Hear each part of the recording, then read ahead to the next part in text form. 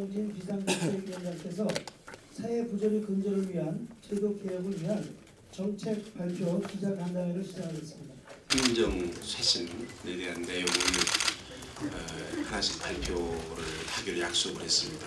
오늘은 어, 오후 2시 예, 좀 여러분들이 불편하실 것 같아서 어, 이 시간에 여러분들에게 말씀을 어, 드리려고 합니다.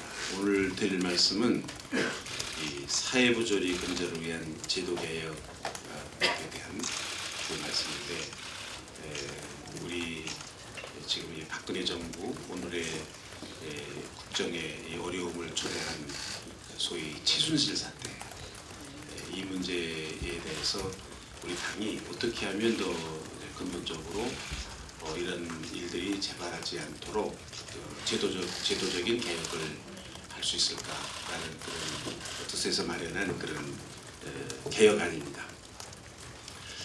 에, 자유한국당은 지난 월요일에 정경유착을 근절하고 공정한 어, 대한민국을 만들기 위한 개혁 방안을 말씀드렸습니다. 오늘은 그 연장선상에서 우리나라에 만연한 사회 부조리를 근절하기 위한 추가적인 제도 개혁 방안을 말씀드리고자 합니다. 어, 지금 대한민국은 국정과 경제를 책임졌던 사회 지도자들이 줄줄이 구속되고 있습니다. 사회 지도층의 권력을 이용한 사익 추구와 부조리 관행이 도를 넘어 자신의 자리에서 열심히 살아가는 국민들이 도저히 묵과할 수, 묵과할 수 없는 수준이 되었고 예, 국민들의 비탄과 분노가 하늘을 찌르고 있습니다. 정치권은 현 사태에 대한 명확한 책임을 지는 동시에 다시는 이런 일이 반복되지 않도록 법과 제도를 확실하게 마련하고 공정과 법치문화 확립에 앞장서야 할 것으로 생각합니다. 우리 자유한국당은 지위고하를 막론하고 법치를 실현하여 모든 국민이 정의로운 사회라고 생각하는 공정 대한민국을 이룩하겠습니다.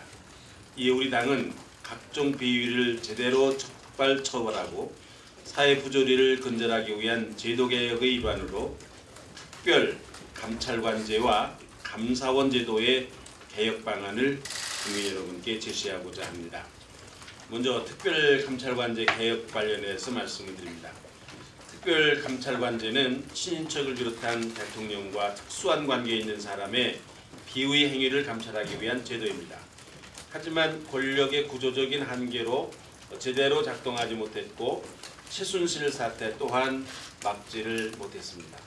자유한국당은 특별감찰관제의 구조적 문제점을 해소하여 대통령 주변의 비리를 차단하는 본연의 역할을 다할 수 있도록 개혁하겠습니다. 먼저 감찰 대상을 확대하겠습니다. 현행법에서는 감찰 대상을 대통령 배우자 및 사촌 인의 친척, 대통령 비서실의 수석비서관 이상의 공무원으로 규정되어 있습니다.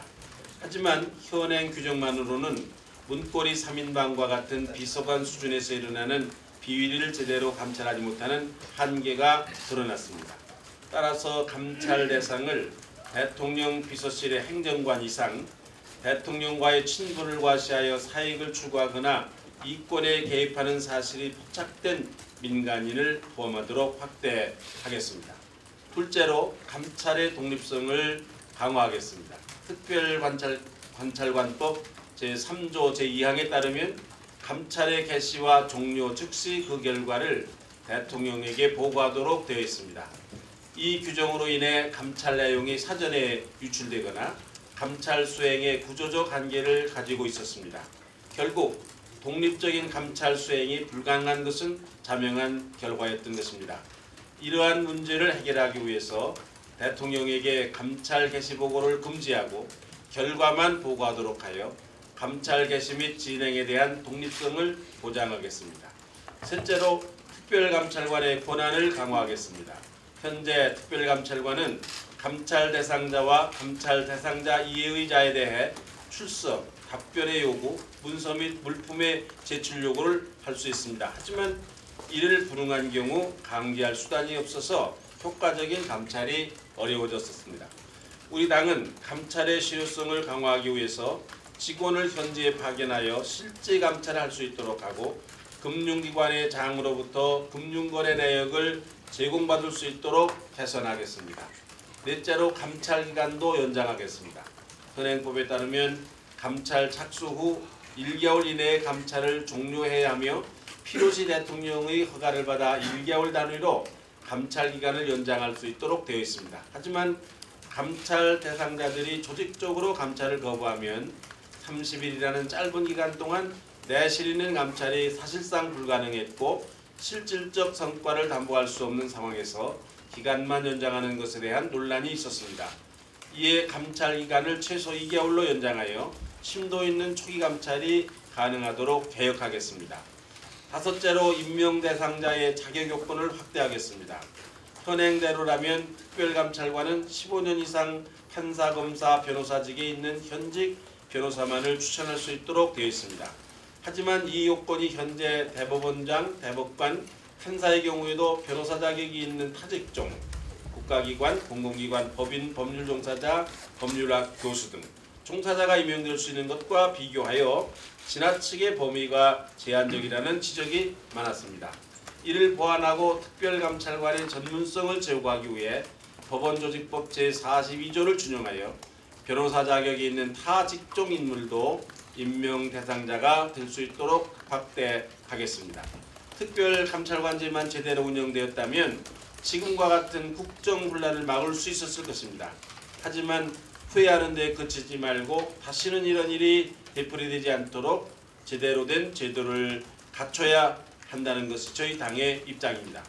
자유한국당은 특별감찰관 개혁을 위해 어제 당 법률지원단장인 최교일 의원의 대표 발의로 특별감찰관법 개정 법률안을 발의했음을 말씀드립니다.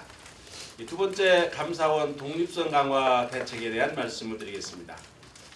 감사원은 국가의 세입 세출의 결산, 국가 및 법률이 정한 단체의 회계감사, 행정기관 및 공무원의 직무감찰을 하기 위한 헌법기구입니다. 하지만 이번 최순실 사태에서 드러난 것처럼 보건복지부, 문화체육부의 문제뿐만 아니라 메르스 사태 당시 보건복지부 감사, 대우조선 사태 당시 산업은행 감사 등 감사원 역할 수행에 대한 유효성 논란이 끊이지 않고 있었습니다. 이러한 논란은 감사원의 법적 지위 때문입니다. 현재 감사원은 헌법기관이긴 하지만 대통령 직속기관으로 행정부 소속입니다. 따라서 대통령의 눈치를 볼 수밖에 없는 구조입니다. 감사기구가 행정부 소속으로 되어 있는 나라는 OECD 35개국 중에서도 우리나라와 스위스 두 나라뿐입니다. 감사원이 헌법기관으로서의 책임과 의무를 다하고 정부 등에 대한 감사 기능을 제대로 하기 위해서는 감사원의 독립성 강화만이 유일한 해법입니다. 우리 당은 이를 위한 첫 번째 방안으로 감사원을 국회나 행정부 소속이 아닌 독립기구화 하도록, 독립기구화 하도록 의논하는 중에 있습니다. 감사원의 독립기구화는 감사 대상의 청와대와 검찰까지도 포함하여 모든 국가기관을 철저히 감사할 수 있게 된다는 의미입니다. 이를 통해 감사원이 정권의 눈치를 본다는 지적에서 벗어나 감사원 본연의 업무를 충실하게 이행하고 사회 부조리 근절 및 공직기강 확립에 큰 역할을 할 수 있도록 하겠습니다.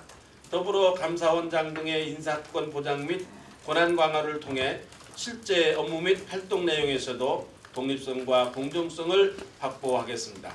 다만 감사원의 권한이 강화되면 무소불위의 기관이 되는 것이 아니냐는 우려가 있는 것도 사실입니다.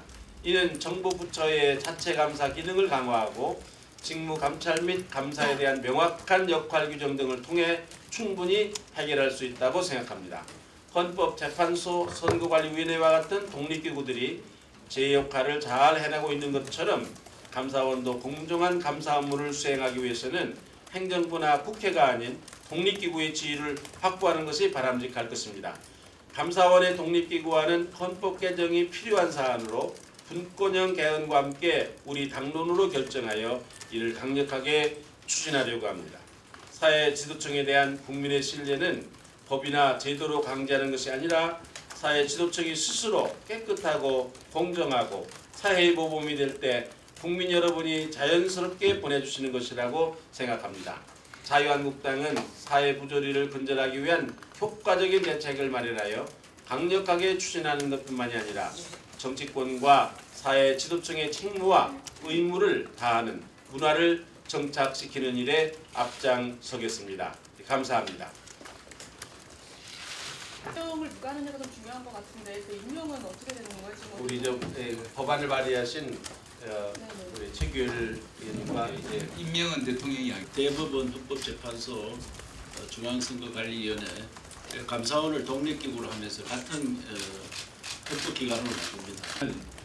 질문하신 대로 대통령이 임명하니까 조직화되는 거 아니야? 이건 절대로 그렇지가 않다. 공청회에서 그 뭐 지검장 선출제나 아예 또는 뭐 공수처 설치 이렇게 하지 않으면 안 된다고 하는데.